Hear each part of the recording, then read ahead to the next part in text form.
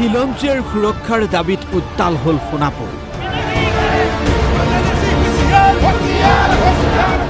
জাতি মাতি ভেটিৰ কথা কোৱা চৰকাৰৰ দিনতেই খিলঞ্জীয়াৰ অস্তিত্বৰ সংকট।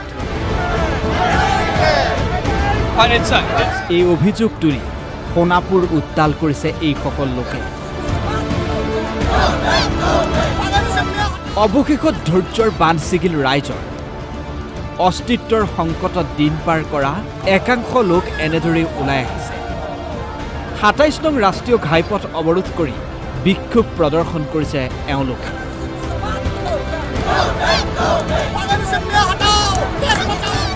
খিলঞ্জীয়াৰ ভূমি অধিকাৰ সুৰক্ষিত কৰাৰ দাবীৰে বিশাল প্ৰতিবাদী কাৰ্যসূচী সোণাপুৰৰ দিগাৰু গেটত কেইবাটাও দল সংগঠন সহ স্থানীয় ৰাইজে প্ৰতিবাদ কৰিলে খিলঞ্জীয়াৰ সুৰক্ষাৰ দাবীত। যিখিনি চৰকাৰী আৰু ট্ৰাইবেল বেল্টৰ মাটি অবৈধ বিদেশী অবৈধ মুছলিমসকলে যিটো আহিছে তেওঁলোকক ইয়াৰ পৰা খেদিব লাগে সম্পূৰ্ণভাৱে উচ্ছেদ কৰিব লাগে।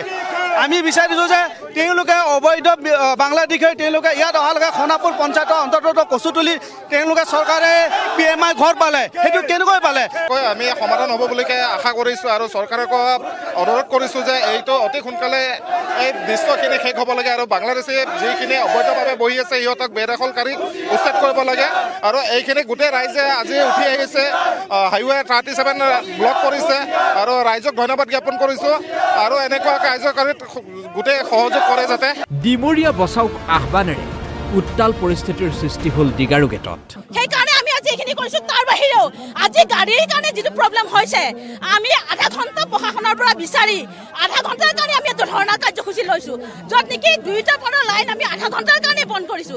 কিন্তু তাৰ স্বত্তেও আজি যিসকল ব্যক্তিয়ে উল্টা ফালে আহি যাৰ যি লাইন আছে লাইনত নাথাকি উল্টা ফালে আহি আমাৰ ৰাইজৰ মাজত গাড়ী সোমোৱাইছে। তাৰ মানে কি? এইবিলাকে হ'ল সুবিধা। তেখেতসকলে আমাৰ অসমখনক ধ্বংস কৰাত সুবিধা দিয়ে তেখেতসকলে। এনেকুৱা ধৰণৰ মানুহ আছে কাৰণে আমাৰ অসমখন আমাৰ দেশখন তললৈ গৈছে। মই সেইকাৰণে সাৱধান কৰি দিব খুজিছো ইয়াতে যোনে যেনেকে নাথাকক আমি নিজে শান্তিমতে থাকক। কিন্তু অবৈধভাৱে কিবা কৰিব খুজিলে আমি কাকো ৰেহাই নিদিওঁ।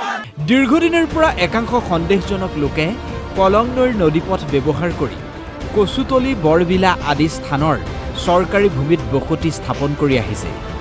বুধবাৰে নিশাও একাংশ লোকে গৃহসজ্জাৰ সামগ্ৰী লৈ সেই স্থানত প্ৰৱেশ কৰাৰ পিছতেই আটক কৰিছিল ৰাইজে। তাৰ পিছতেই সৃষ্টি হ'ল উত্তপ্ত পৰিস্থিতিৰ। কিন্তু এইবিলাক নাগৰিক কোন? যিবিলাক ক'ৰ পৰা আহিছে? ৰাতি আমি দেখা নাই ৰাতিপুৱা আহি গ'ল। গোটাই ল'ৰা ছোৱালী ঘৰ বাৰী কুকুৰা চুকুৰা লৈ বহি গ'ল। এইবিলাক বিদেশী নাগৰিক আমাৰ কাৰণেও নহয় গোটাই অসমৰ কাৰণে ভাৰতবৰ্ষৰ কাৰণে। এটা শ্ল' পইজন চাইনাইড বিষ হয়।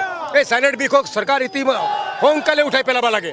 সন্দেহজনক অনুপ্ৰৱেশকাৰীৰ বিৰুদ্ধে কঠোৰ হৈছিল কামৰূপ মহানগৰ জিলা প্ৰশাসন।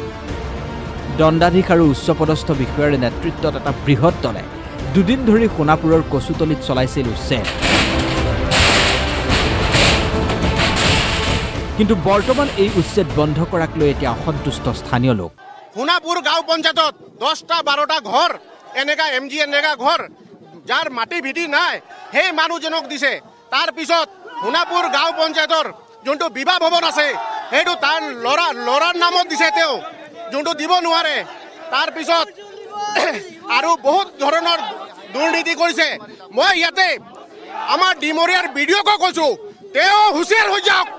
যদি ইয়াতে ভালকে চাকৰি কৰিব লাগে হুঁচিয়াৰ হৈ যাওক তেওঁক। নিয়ম নীতি মতে কামবিলাক কৰি যাওক। তেওঁৰ ওপৰত কাৰোবাৰ আশীৰ্বাদ আছে নেকি? যদি তেওঁৰ ওপৰত কাৰোবাৰ আশীৰ্বাদ আছে সেইটো তেওঁ চিন্তা কৰিব নালাগে। ৰাইজ সজাগ হৈছে।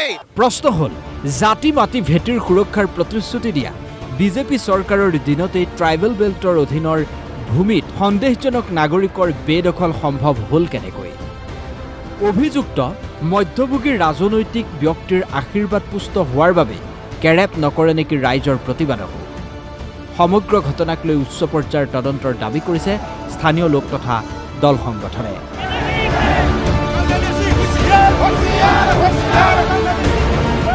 কেমেৰা পাৰ্চন সঞ্জয় বৰাৰ সৈতে Hirakjyoti Deka report D Y three six five.